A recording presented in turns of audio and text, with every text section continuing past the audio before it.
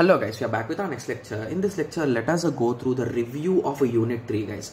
So basically in unit 3 there are very less topics guys you can say. Like around 6 to 7 even the video count was also around 8 or 9 I think so right?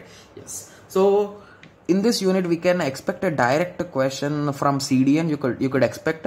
And similarly the mechanisms guys. We discussed about two mechanisms right? The encryption concept and iam concept right? Yes. So you can expect a question from there okay? And similarly the data cloud. So basically you could get a question from rdbms or guys i think i did not inform you about these two file systems. So these two file systems are already covered in the second unit guys.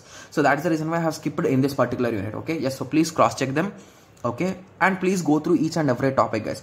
Because uh, for cc we are having really lesser syllabus guys. So we can expect any question guys. So he could give a random question and he could give it for 10 marks or 15 marks. So please uh, go through each and every topic okay? Yes. So i hope everyone got a clear idea. So in the next lecture let us start the fourth unit guys. Okay? Thank you. Thanks for watching